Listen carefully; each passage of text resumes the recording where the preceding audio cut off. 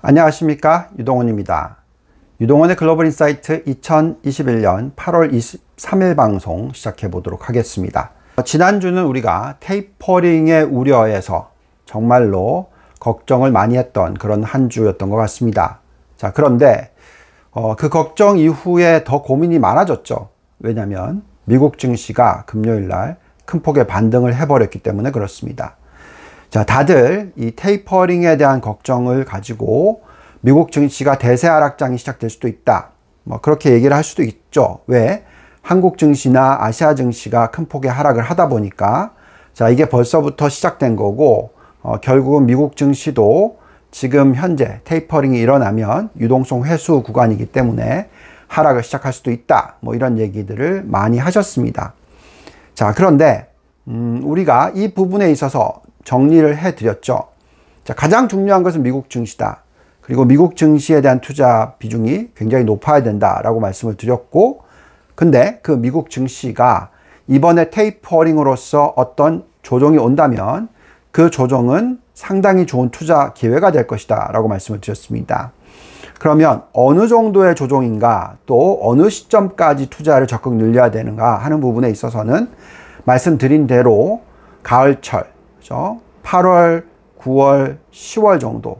어, 사실 원래는 9월 초 정도라고 생각했었는데 미리 조정이 좀 오는 것처럼 보였었기 때문에 그 부분에 대한 좀 걱정은 하긴 했습니다만 어쨌든 금요일 날 또다시 돌리는 모습을 보고 있으면 어쨌든 이번에 나타나는 가을철의 변동성, 그 변동성에 대한 이유는 테이퍼링에 대한 리스크, 이런 부분들이 또 시즈널러티라고 얘기하죠. 계절적인 요소를 가지고 하락을 일으킨다면 이것은 정말로 좋은 투자 기회가 된다라는 말씀을 여러 번 해드리고 있습니다. 자, 그럼 우선은 첫 번째로 과거의 테이퍼링 부분에 있어서의 얼마나 조종이고 지금은 그때와 비교했을 때 어떤 상황인지를 우선 정리를 해볼게요. 어, 과거에는 2009년 3월 달에 적극적인 부양 정책이 쓰여졌고요. 2013년 5월에 테이퍼링 언급이 시작됐고 2013년 12월 달에 테이퍼링이 일어났습니다. 그래서 4년 정도 안 되는 기간 동안에 테이퍼링이 시작이 됐고요. 또 실질적으로 금리를 올리기 시작한 시기는 2015년 말이니까 테이퍼링을 시작하고 나서 2년 뒤의 모습입니다. 근데 또 중요한 것은 그렇게 금리를 올리는 시기가 2015년 말이었고요. 16년, 17년, 18년, 3년 넘게 기간에 걸리면서 금리를 올렸습니다. 자, 그러니까 음, 어떻게 보면 테이퍼링을 얘기가 나온 시기부터 실질적으로 시장의 고점을 가는 시기까지로 계산을 한다면 2013년 5월부터 14년, 15년, 16년, 17년, 18년, 그죠? 5년 정도의 시간 정도가 있었다라는 거죠.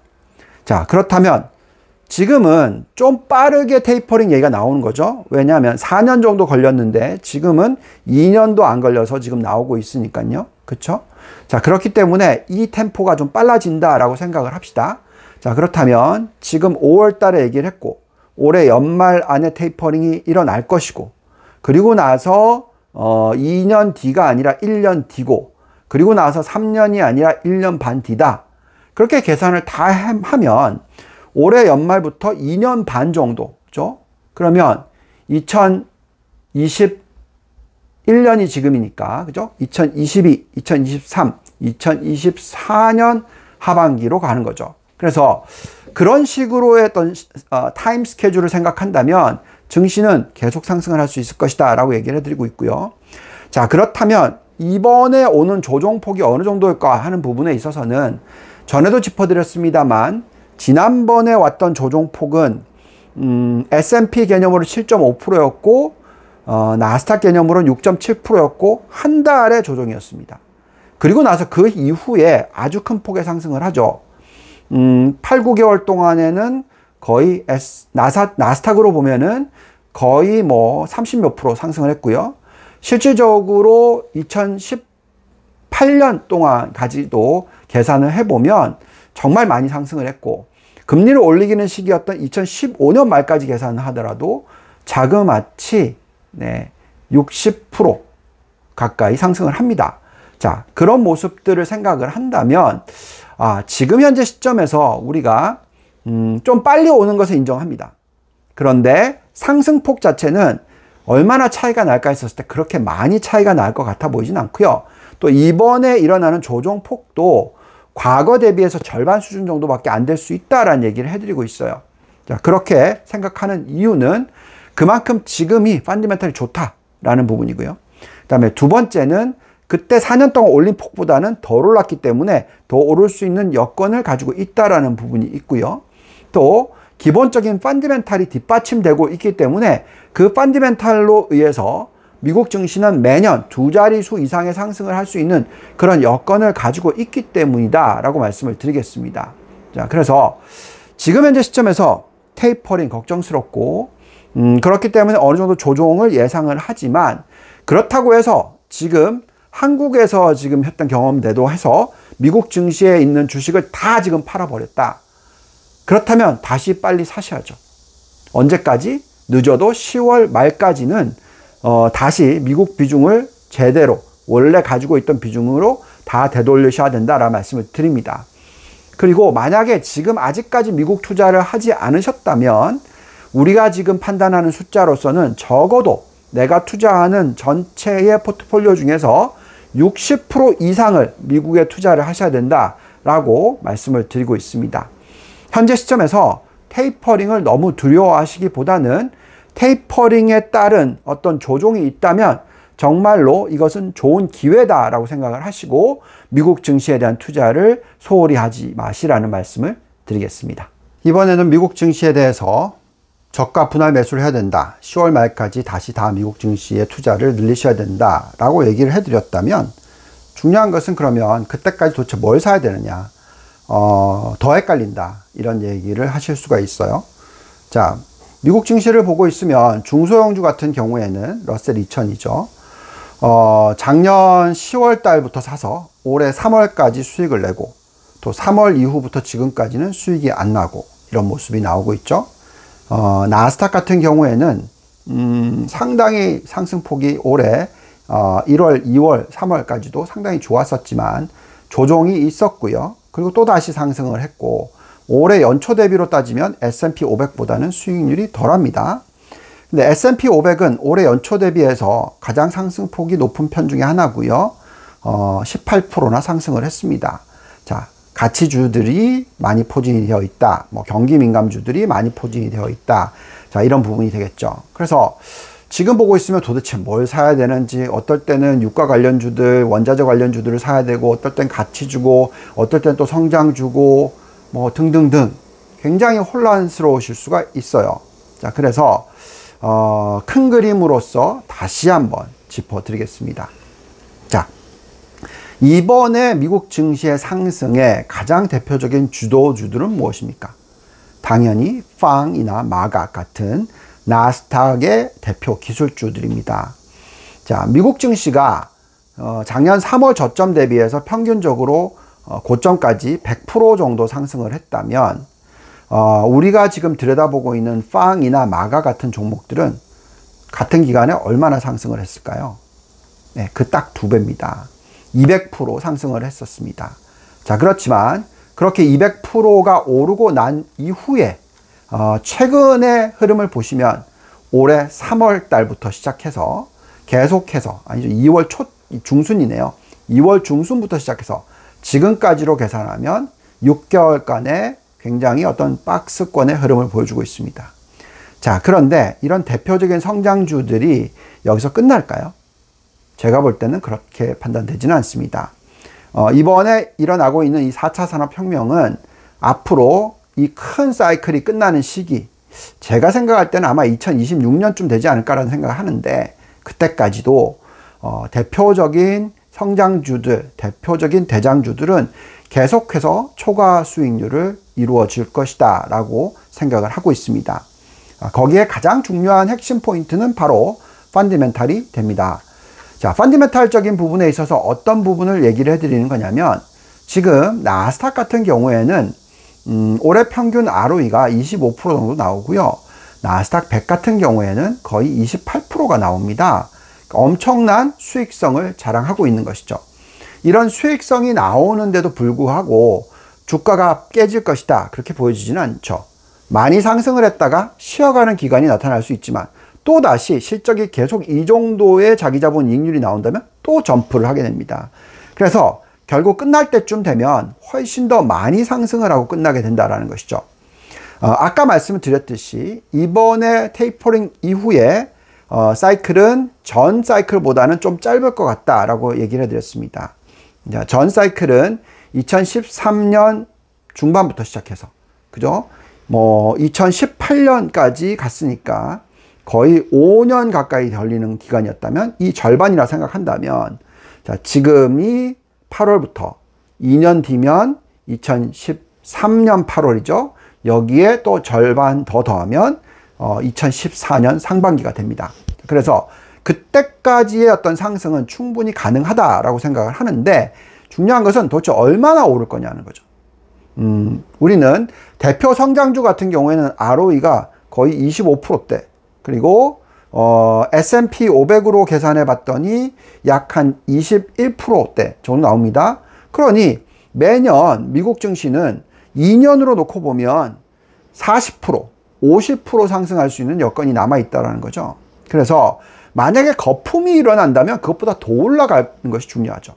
그래서 지금 현재 시점에서는 우리가 미국 증시에 대해서 좋게 보고 앞으로 있을 한 달 내지 두 달 사이에 어떤 계절적인 쉬어가는 구간에서 적극적으로 미국 증시의 비중을 늘려놓는 방법.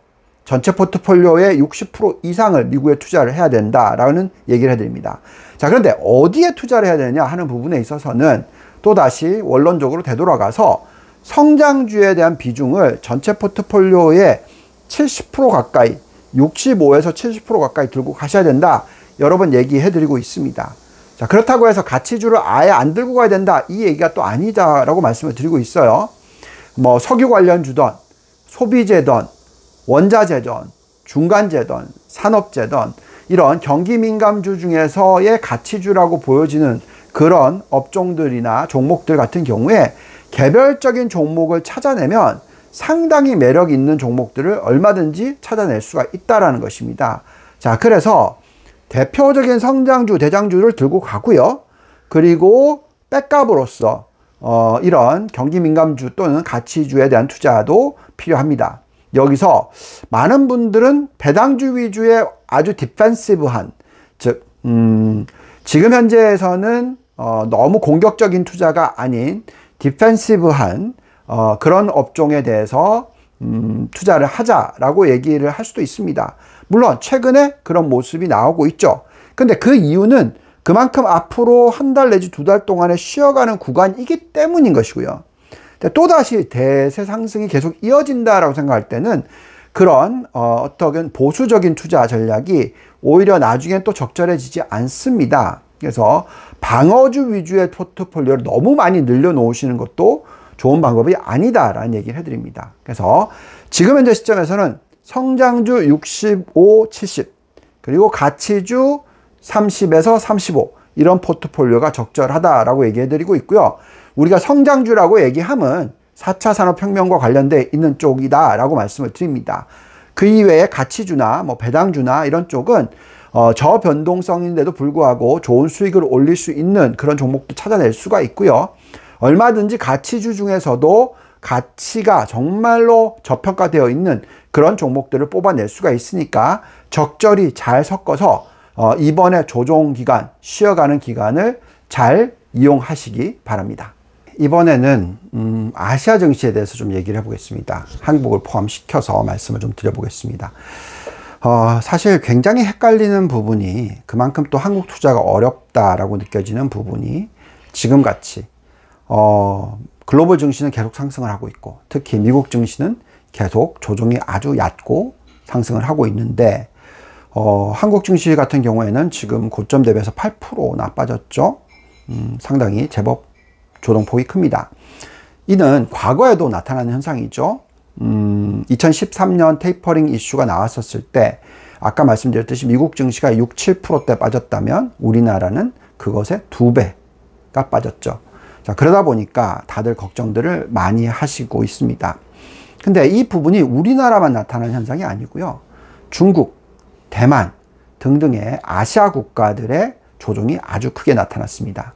유럽 쪽은 오히려 미국과 똑같이 계속 상승하는 모습 보여줬었습니다. 자, 이렇게 지금 아시아만 집중 공격을 받고 있는 이유는 아무래도 미국이 옛날하고는 좀 다른 그런 모습이기 때문에 그렇습니다.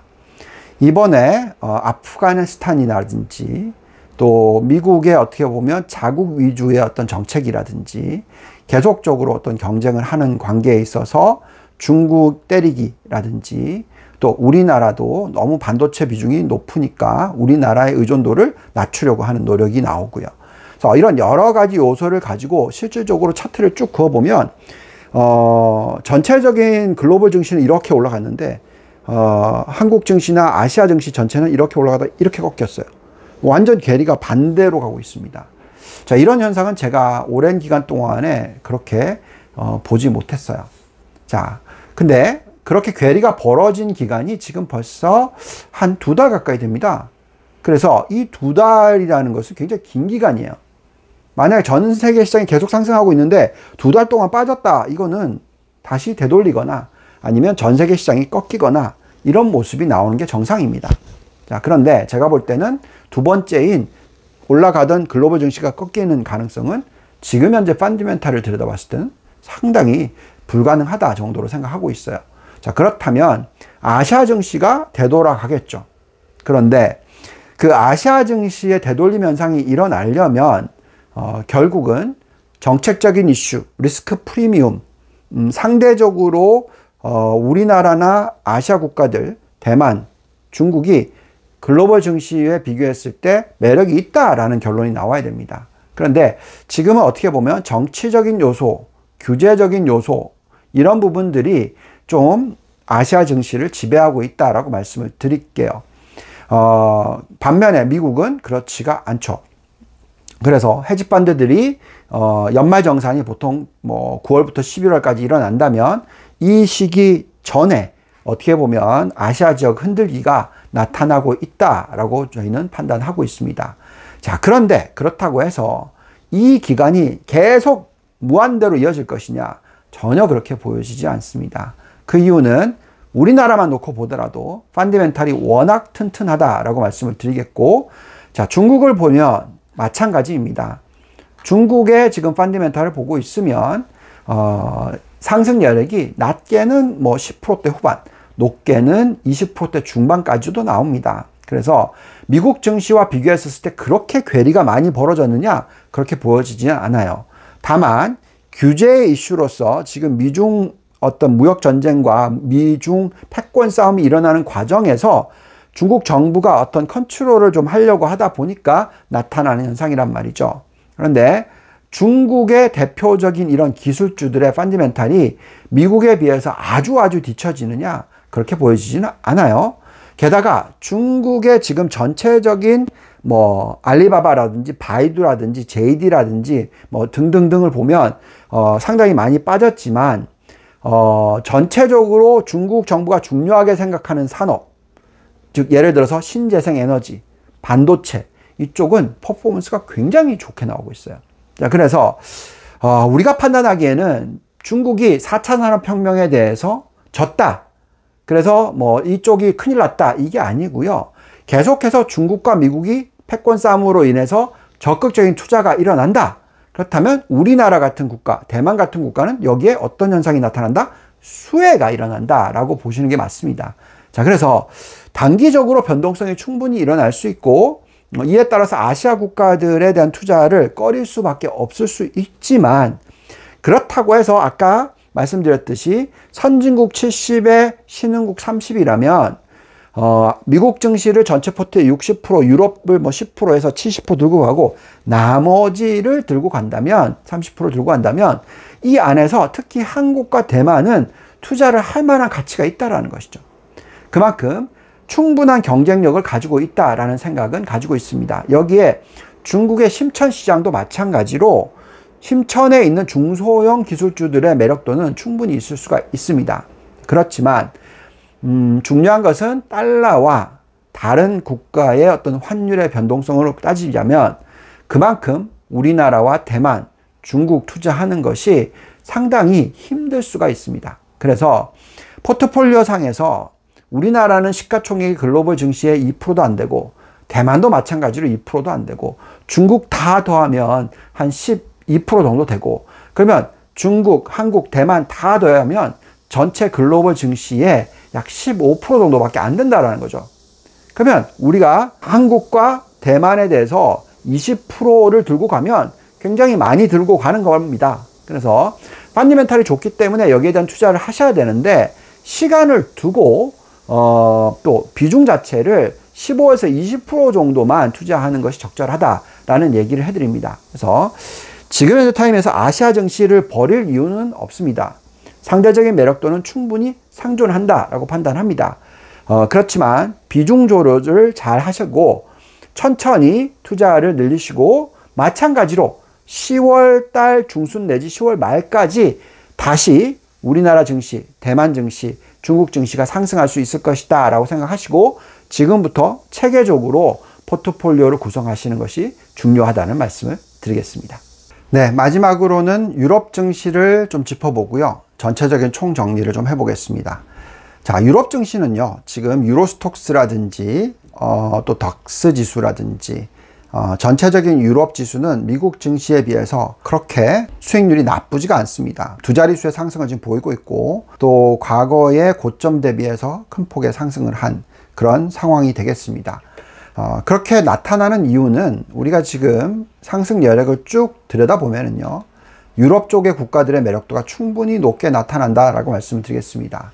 나스닥 다음으로, 나스닥 100 다음으로서 어, 좋아 보이는 지수가 푸치 영국이고요. 그 다음이 독일 닥스, 그리고 나서 또 스페인의 아이벡스, 어, 또 내려가서 네덜란드, 프랑스, 유럽 전체, 어, 스웨덴, 이탈리아, 스위스 이렇게 대부분의 유럽 쪽의 국가들의 상승 여력이 15% 이상이 나타나고 있습니다. 그만큼 경기가 지금 회복하고 있는 부분이 있고요.